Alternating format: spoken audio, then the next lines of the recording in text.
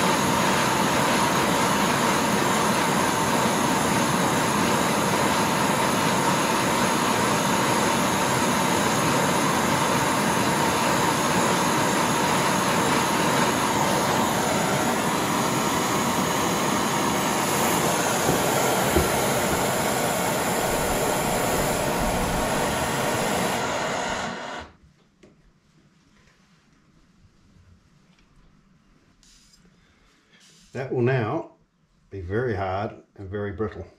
I'm very pleased though because it it's it's tempered straight. It hasn't bent under the tempering, which is really good. All right, now to clean that up.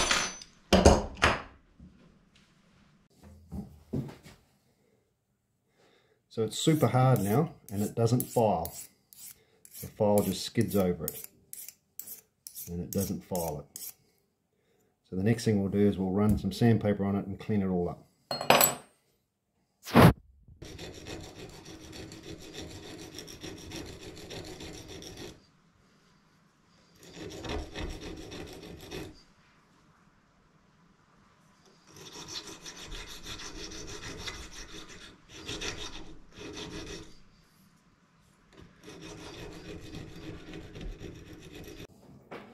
So we've sanded off all the muck, cleaned it all up so it's all shiny again. So now we temper it. The reason we need to clean it up is as we temper it, we want to look for a straw color coming up the rod. And we want, and that's the tempering temperature we want. I don't know what it is, but that's, that's what I'm looking for.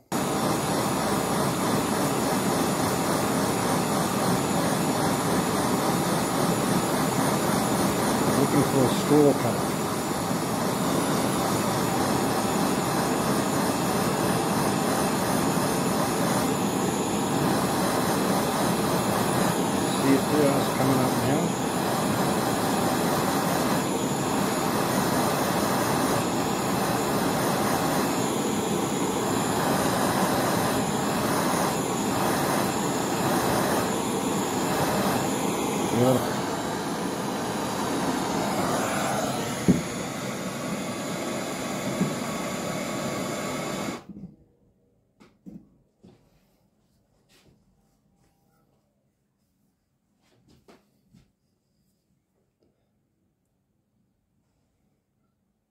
the straw colour in the end tip here. That's the colour we wanted. Means it's tempered it. Ready to sand and um, put into a handle.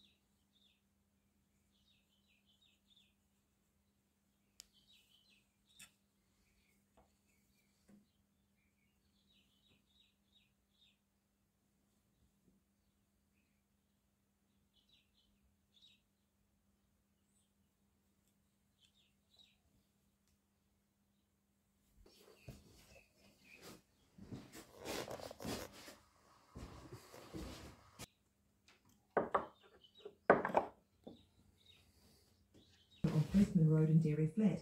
And in East Auckland, you can get vac- you get your vaccine sorted at Highbrook Vaccination Centre in East Tamaki from 8, 8 a.m. to 3 p.m. You don't even